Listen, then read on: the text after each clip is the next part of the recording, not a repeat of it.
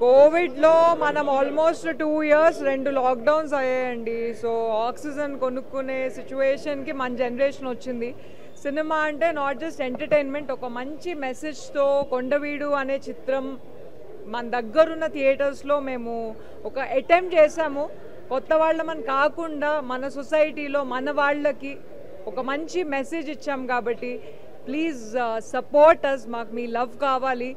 మీరు థియేటర్స్ దాకా వచ్చి ఒక ఛాన్స్ ఇవ్వండి వాచ్ చేయండి. One hour forty five minutes కట్టే కొట్టే తెచ్చేలాగా. సో చెట్ల నరకుండా ఉండడం అనేది ఒక ఆర్గానిక్ స్టోరీ రూపంలో మంచి థ్రిల్లర్ నైస్ స్టోరీ మన తెలుగు సినిమా తెలుగు వాళ్ళందరూ మమ్మల్ని ఆదరిస్తారని ఇక్కడ మన ఏషియన్ మల్టీప్లెక్స్ ఇక్కడ కుకట్పల్లి సి- లక్ష్మీకళ శశికళ దగ్గర వచ్చి చూసాము. చూసిన వాళ్ళందరికైతే నచ్చింది.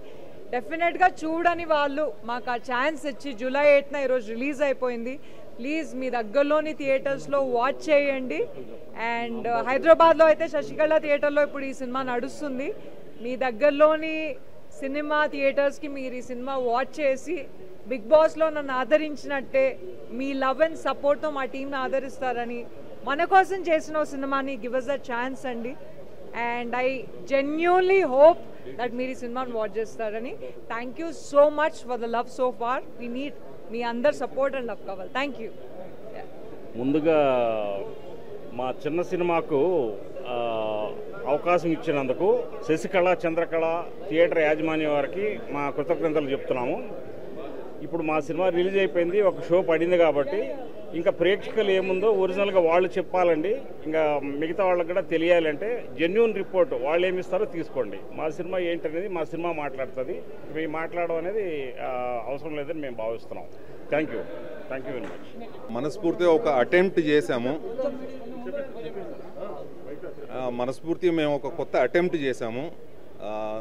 అందరూ ఆదరిస్తారని వచ్చి చూసి మమ్మల్ని ఎంకరేజ్ చేస్తారని భావిస్తూ అందరికీ థ్యాంక్ యూ థ్యాంక్ యూ అని పర్యావరణం రక్షించడం అనేది ఈ కాన్సెప్ట్ చాలా చాలా అందంగా సర్దిద్దిరు.